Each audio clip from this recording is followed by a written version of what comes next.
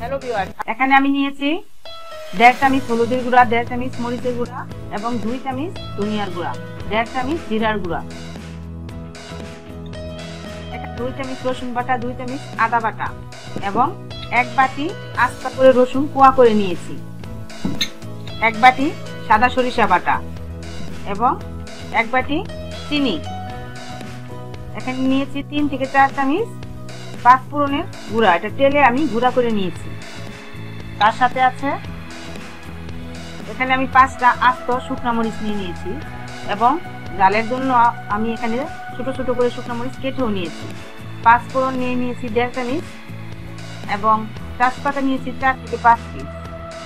এখানে আছে পাঁচ থেকে ছয় পিস দারচিনি, হাফ হাফ করে নিয়েছি কালো একটা এলাচ। পাঁচটা আছে সাদা এলাচ, গোলমরিচ আছে সাত থেকে আটটা। গোলমরিচ, কালোটা আছে সাতটা এবং লবঙ্গ আছে এখানে পাঁচ থেকে ছয় পিস চলুন এবার রান্না করে যাওয়া যাক। এটা বসিয়ে দিয়েছি, আমার প্যানটা গরম হয়ে আসছে, এখন আমি প্যানে তেল দিয়ে দিব। এখানে আমি অনেক সরিষার তেল নিয়েছি, কারণ আমটা তেলে ডুবা থাকবে তার জন্য। জালটা একটু আমি হাই করে দিলাম। এখন আমি এই জায়গায় দিয়ে দিব চারটা তেজপাতা। একটা শুকনা মরিচ আমি কেটে ছোট করে নিয়েছি। দিয়ে দিব ছয় সাতটা দারচিনি তার সাথে দিয়ে দিব পাঁচ ফোড়ন, গোলমরিচ এবং দারচিনি এলাচ। আমি একসাথে ঢেলে দিব। এর মাঝে দিয়ে দিব হাফ বাটি রসুন কুয়া করা। এখন আমি এটা ভালো করে নেড়ে চেড়ে নিব। এখন আমি বাকি মশলাগুলো দিয়ে দিব।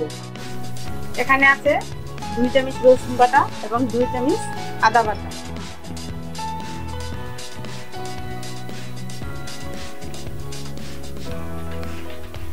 এক বাটি সাদা সরিষা বাটা।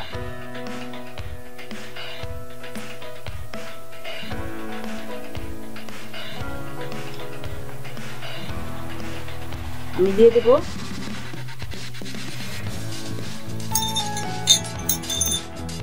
লবণ। দেড় চামচ লবণ দিয়ে দিলাম। এখন আমি এই উপকরণগুলো দিয়ে দিব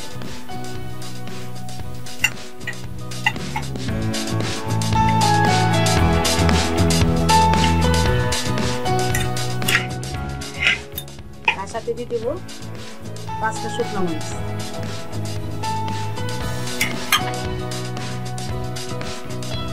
এখন দিয়ে দেবো আমি হাফ বাটি চিনি। এখানে এক বাটি আছে, আমি কিছু কম দিব।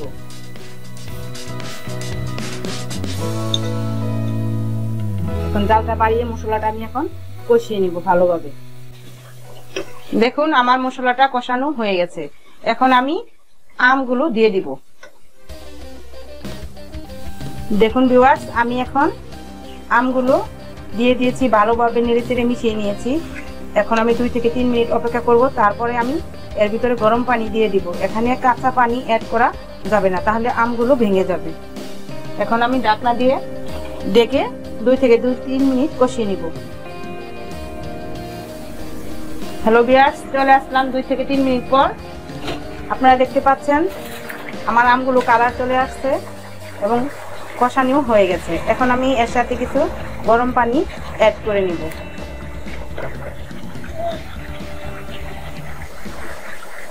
আমি এক কাপ পরিমাণ গরম পানি মিশিয়ে নিব।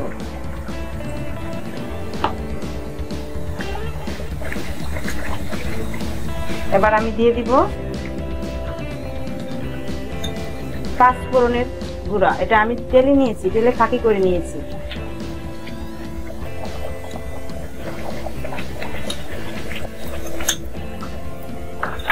এখন আমি দিয়ে দিব এক কাপ পরিমাণ ভিনেগার।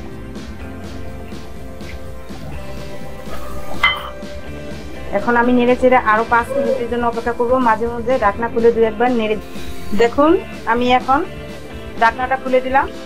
নেড়ে চেড়ে দেখলাম আমার আমের আচারটা সম্পূর্ণ হয়ে গেছে। এখন আমি এটা চুলা থেকে নামিয়ে নেব।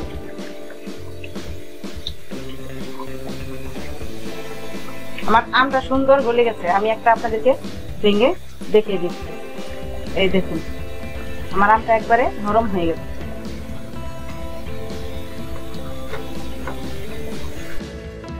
হ্যালো জাল মিষ্টি আচারটা তৈরি হয়ে গেছে, দেখুন আমের আচারটা দেখতে কত সুন্দর হয়েছে এবং সুন্দর একটা ঘ্রাণ ভিড় হয়ে এসেছে।